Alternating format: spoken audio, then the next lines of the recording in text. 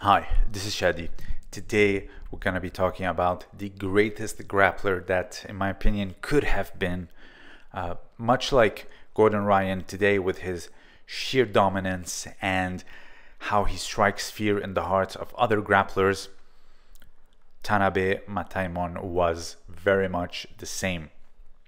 So we all know that Gordon Ryan has uh, an Achilles heel in a sense, which is his stomach problem. Unfortunately, it keeps him away sometimes for a very long time off the mats and competition.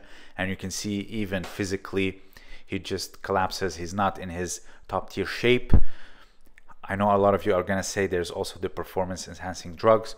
Yes, but also other grapplers are now doing it. So if it was only that, uh, he everyone would have been just like Gordon Ryan, but nonetheless, it did help him for sure. He is very talented, hardworking, and like I said, he just strikes fear in the hearts of everyone. He beat already the greatest, one of them being Andre Galvão. So the thing is with uh, Gordon Ryan, he is an excellent leg locker and also takes the back and strangles very skillfully. But he was not the only one. Historically, there is Tanabe, of course. Uh, today, I'm going to talk about him not only uh, history wise, but also uh, some of the myths regarding Tanabe. Uh, a lot of stuff have been blown out of proportion and have been repeated several times in forums in my comment section and they are just simply false and they did not happen. It was just due to the sheer passage of time and the romanticization of things. So, first, let's talk about uh, his groundwork. So, he was very much famed for this particular uh, strangle, the cross choke. He got it from a lot of positions first when he came into the scene in the 1890s. So he arrived in Tokyo in 1890 at the age of 19, and there he challenged uh, Tobari, who was a Jujutsuka. Later went on to join the Kodokan, and he throws him with Tomoenage, I believe, and then uh, from Kami Shiho Gatame or the north-south position gets uh, the cross stroke. So what we call today, I believe, the paper cutter from this position. So this uh, defeat obviously caused Tobari to work more on his newaza and he was very much shocked at the skill that Tanabe had.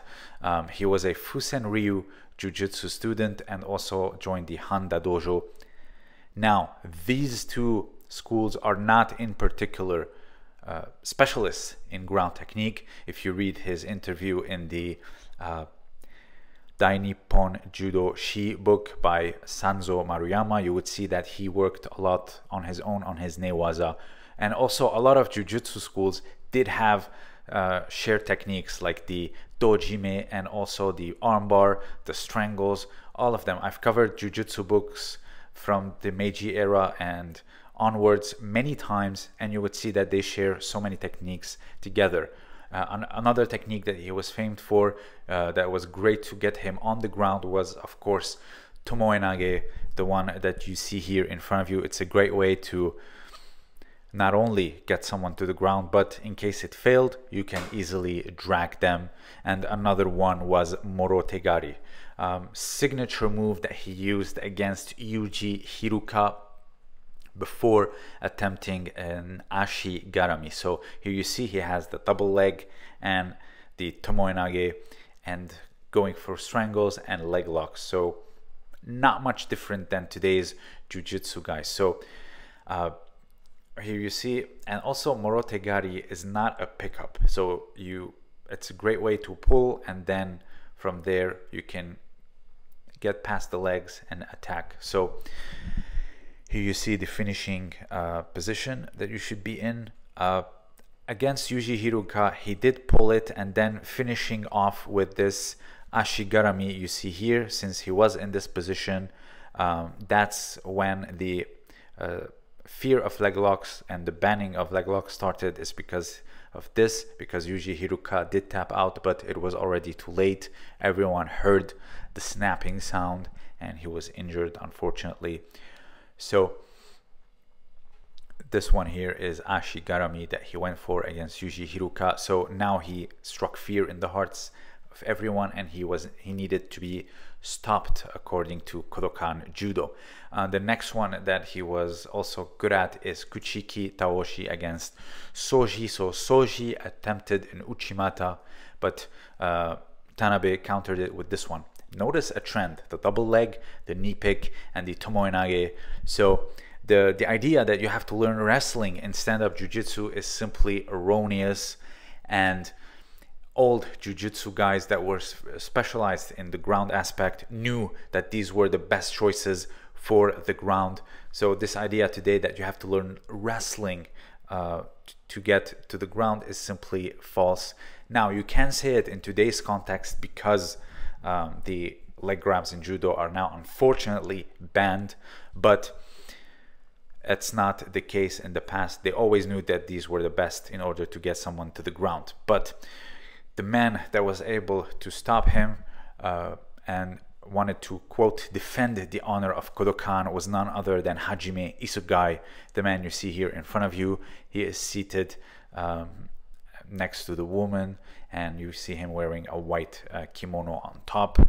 Uh, so what he did was he decided to challenge him, trained with Kaichiro Samura, uh, and really crafted his newaza in order to just stop him all around. Uh, after the trilogy between him and Tobari and his fight against Hiruka, he was considered a very scary grappler and needed to be stopped. Um, here you see uh, right above Jigoro Kano, in the middle is Hajime Isogai. So uh, the first fight, it was very tough against Tanabe. Tanabe was trying to pull him down and fatigue him and get him into Newaza but uh, the fight ended on time limit. But uh, Isogai almost lost the fight. He was very tired. The next fight, he came a little bit prepared. He avoided the guard pulls and the tomoenage as much as he could and constantly threw him with Hanigoshi, the one you see it in front of you, and avoided the the ground. And then when the time finished, Tanabe wanted to continue up until someone loses, but the his wishes were not granted. But uh, scaring him with this particular throw was very important, and of course, uh, defending all his pulls like Tomoenage and his attacks. So he did everything to avoid the ground, uh, and then just simply kept uh, throwing him. And then the final fight, which was the most important it went to the ground, but Isogai was very much prepared uh, and Tanabe tried to go outside the area in order to reset the fight, but Isogai kept dragging him in to the inside. And then when the fight was finished, so this was the third draw, but uh, Tanabe was clearly dominated in the third fight. And when they asked him what was the problem, he said, I am suffering from very brutal case of hemorrhoids. So you can see that it can be somewhat laughable or ridiculed even, but you never know. Um, clearly, when it comes to something, uh, when it comes to health, uh, it's something that's not a joke. Here you see Tobari in front of you. So just to mention it. Um, so this is the story of Tanabe, uh, and uh, now let's talk about uh, myths a little bit. So the first one being is that he added Ashigarami to Katame no Kata. Okay, let's talk about the first one. Um, no Kata was fully established in 1880s. Tanabe first arrived in Tokyo as a 19-year-old in 1990, 1890. I'm sorry. So that right there is just false. So you, you can't say, well, it was later modified. There's no uh, evidence. If you go to the Kodokan website, and you see um, read about the katame no kata you, you don't see any mention of it the second one being is that um, he he did not join the Kodokan. A lot of people say that he later went on to teach them Newaza, Hairi Kata. Hairi Kata simply means how to enter. That's it. Uh, there's no evidence. Even if you go to the wiki page, the wiki page in the past it was completely disastrous. There was all these myths and all these things about tanabe. Even now if you go to it someone edited it and luckily they sifted a lot of things out fortunately.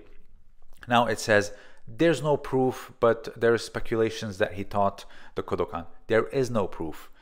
Um, if you read his uh, interview uh, with maruyama he doesn't mention uh, teaching people there or teaching Newaza or anything. Uh, later, he was beaten by Sakujiro Yokoyama. Uh, Oda talks about him greatly, but he doesn't mention anything about him teaching in Kodokan.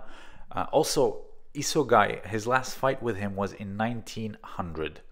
So he already figured him out, not only in the standing, but also on the ground. So why would they need him to go later on and teach is beyond me. So uh, I'm glad these myths are now being talked about and they are pulled off of these uh, websites, or, or, sometimes you see it and then you click on the resource and it's just some uh, not secured site or not a very reputable uh, source. So uh, he was a great grappler. Nonetheless, the hemorrhoid story is funny, but you have to take it into consideration.